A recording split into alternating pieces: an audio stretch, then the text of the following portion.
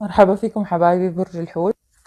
خلينا نشوف طاقتنا. إذا هذا الشهر كيف عاملة؟ إيش عاملة؟ شو عم بنركز آه، على شو عم نصرف طاقتنا؟ إذا لبرج الحوت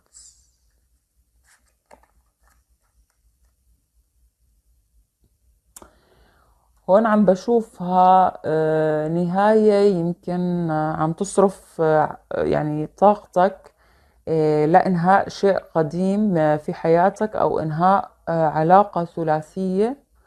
عم تصرف عليها طاقة لحتى إنك تنهيها. عم بشوفها على انتصار وعلى نجاح. إن شاء الله يا رب. خلينا نشوف بشكل عام إذا للحوت. في بداية الشهر آه، رح تكون في عندك آه، شوية أوهام يمكن أو آه، عم تتعرض لأكاذيب معينة لنصب معين. أنت عم تنهي هاي العلاقة عم تنهي هاي الطاقة. ما عم يعني بتكون موجودة في هاي الشهر. أنا عم بقول عم تنهيها. فعم بشوف بالعكس من بعد ما كنت محبوس داخل هاي ال ال ال الأوهام أو حتى أنت ممكن تكون عيشت حالك في أوهام لأنه هدول الكرتين مع بعض كمان آه، أوهام. عم تتذكر آه، شيء قديم وطول الوقت عم بتفكر بهذا الشخص القديم. عم تترك ثلاث فرص قدامك أو يعني على الأقل عم تترك فرص كتير وعم بتفكر طول الوقت في هذا آه، الشخص.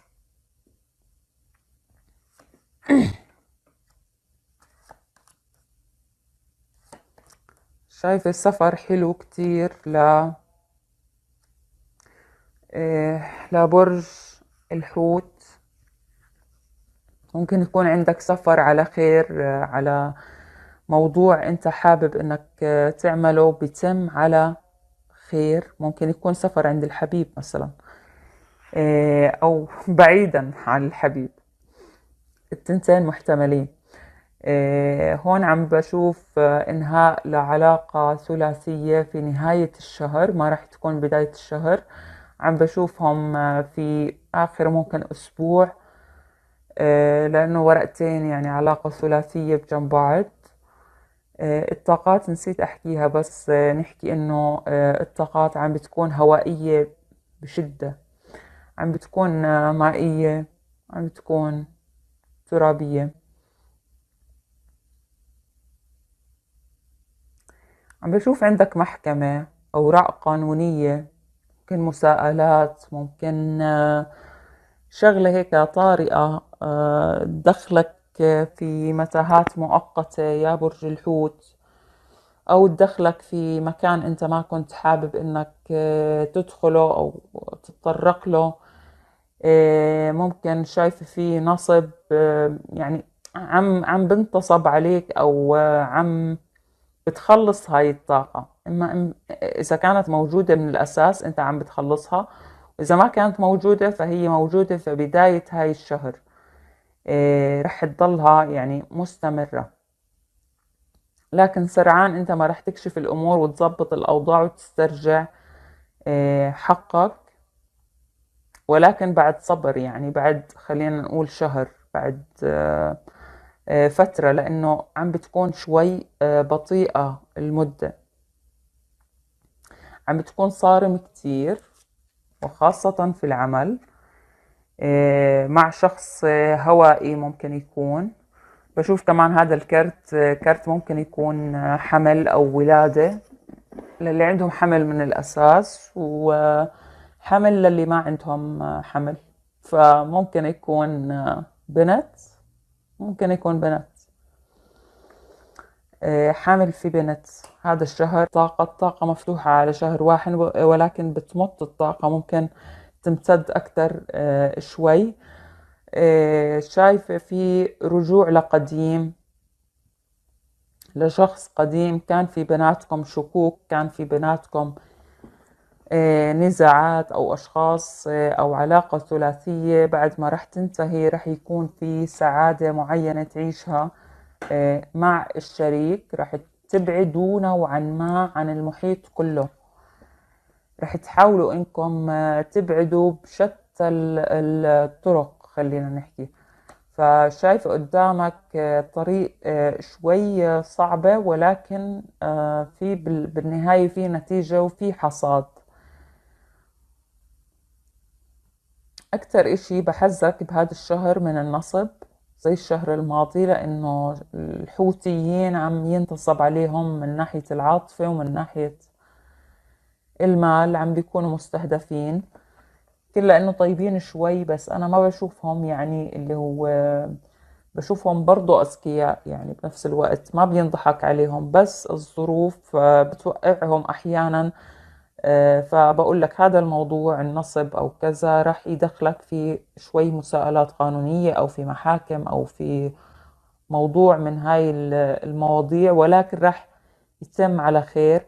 بشوف السفر في كرتين يعني السفر آه، فرصة كبيرة للي حابين إنهم يسافروا هذا بشكل عام.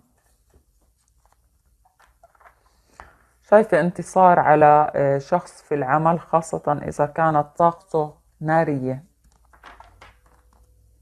ومائية كمان. خلينا نشوف لمحة آه، عن الوضع العاطفي. عم بشوفك ماسك حالك بالزور يا حوت. في بقلبك حب كبير كبير كبير.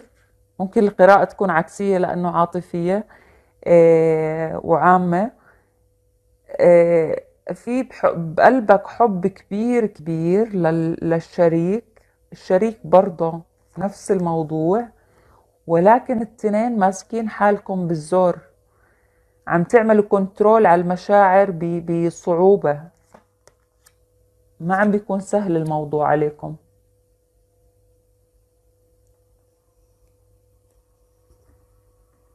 ما بعرف شو اللي صاير لهالدرجة لحتى أنت كتير تكون محتار وكتير آه، عم بشوفكم التنين آه، محتارين التنين عم تختاروا وأكنه يمكن في عندك أنت كمان علاقة ثلاثية أو هو عنده علاقة ثلاثية أو الاثنين مع بعض ما بعرف.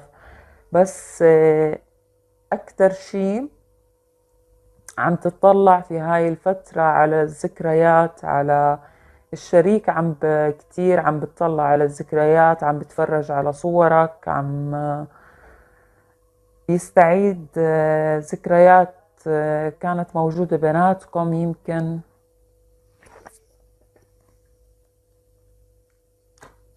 ولكن شايفة أنا في آه، انتصار على العلاقة الثلاثية شايفة في التقاء ما بين القلب والعقل بنفس الوقت يعني من بعد هون ما كان عندك صراع ما بين عقلك وقلبك هون لا في آه، يعني في اتحاد التنين مع بعض رح تاخد قرار بإنه يعني الأمور تتظبط بيناتكم.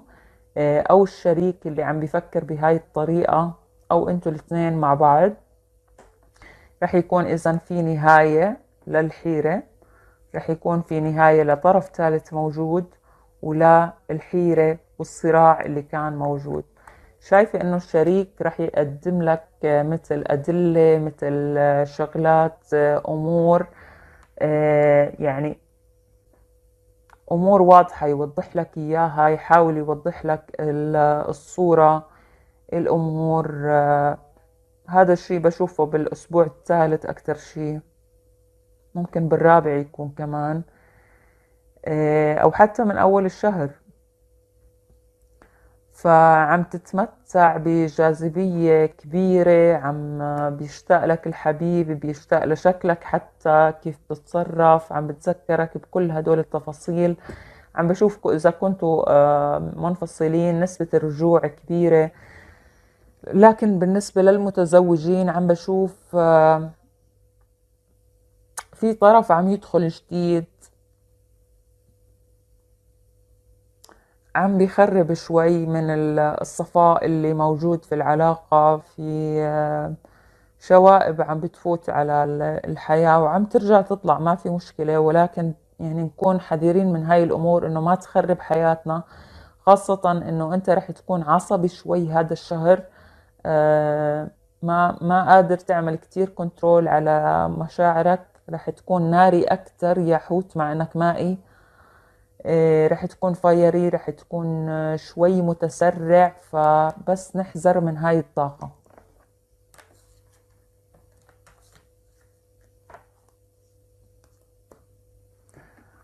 آه نشوف شو تحذير هذا الشهر لبرج الحوت.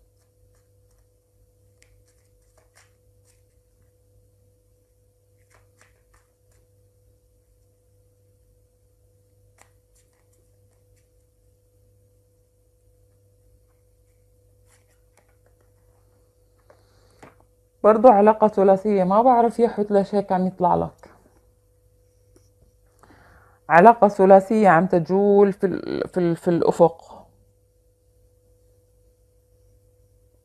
قلنا في انتهاء للعلاقة الثلاثية ولكن ممكن تمتد لأنه هذا التحذير يعني عم بشوف رقم 11 رقم 12 فممكن تمتد الطاقة شوي. لهذا الطرف الثالث. شوف message من الحبيب إذا كان بعيد أو قريب أو آه، كلمة منه message معينة ما قادر يقولها.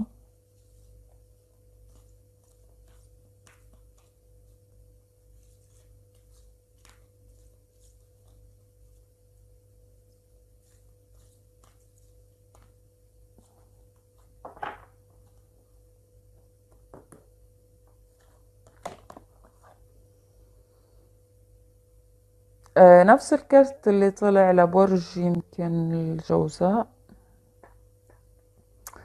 آه بيقول لك إنه هو كوعد أو وعد هو إنه رح يحقق لك الأمان اللي أنت بتحلم فيه رح يحقق لك آه الجو اللي أنت بتحلم فيه في العلاقة.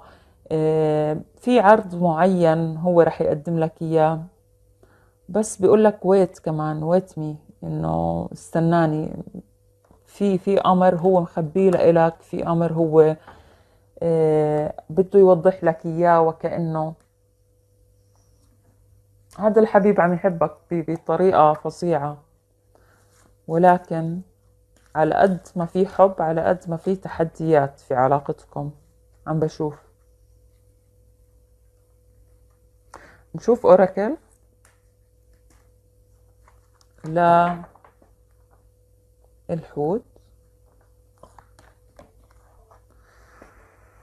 heaven يا حوت. بكفي بكفي stress بكفي كذا. اطلع للأماكن اللي كنت تطلع عليها وتنبسط. آه، ابسط حالك آه، رفه عن حالك شوي. اطلع من ال mood اللي انت حاطط فيه حالك إلك فترة. وأنا ما بلومكم يعني الظروف هي اللي كانت آه، صعبة يعني مش أنتوا بدكوا هذا الموضوع ولكن أنتوا كنتوا عم تعيشوا هاي المواقف إجباري يعني قدريا. فبس بيقول لك هافن حاول تخفف عن نفسك بانك تعطي حالك طاقة إيجابية زي ما قلنا تطلع على أماكن بتحبها تستمتع في الحياة. بكفي يعني كتير التفكير والطاقة السلبية.